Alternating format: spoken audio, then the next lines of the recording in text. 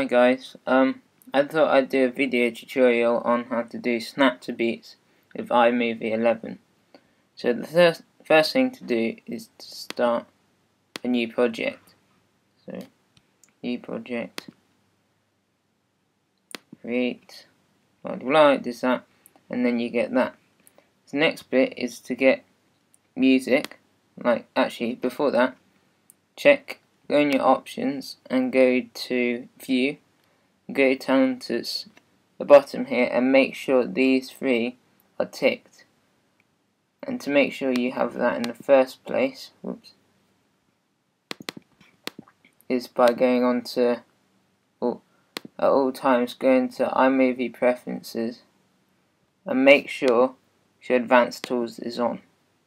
That way it gives you more options so I I'm gonna choose Cry Me a River by Michael Bublé because it's much it's a good example of how to do snap to beats. So the first thing you do is click on this and then clip trimmer. Okay, and it gives you all the audio of it. To make a beat, it will you have to press M. So when you want like the pictures to change immediately, you press M in a certain place. So it will leave a mark and you'll see.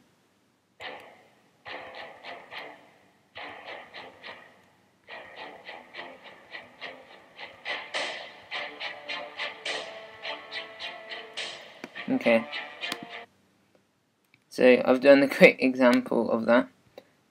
So I've put in the beats. I'll show you is these um, lines that you can see with the dots on.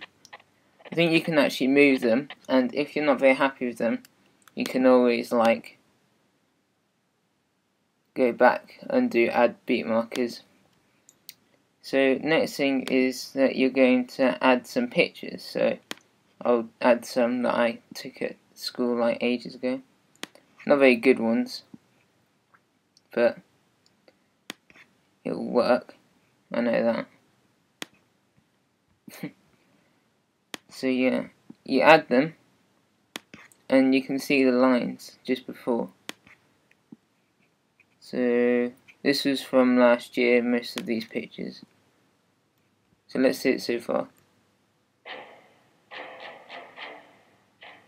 So yeah, you can see where it's going with that. It looks quite good so far um, as so it'll change very quickly. And if you want to go back and add more beat markers you just have to go back to clip trimmer and do what I showed you in the first place.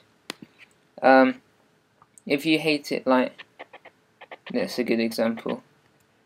It moves up like very quickly. So just press C on that clip and it gives you these options.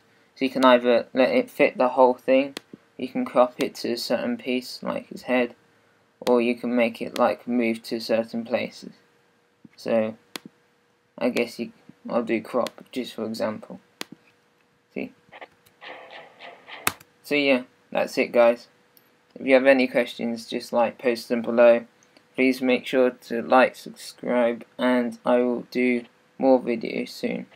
Okay, cheers.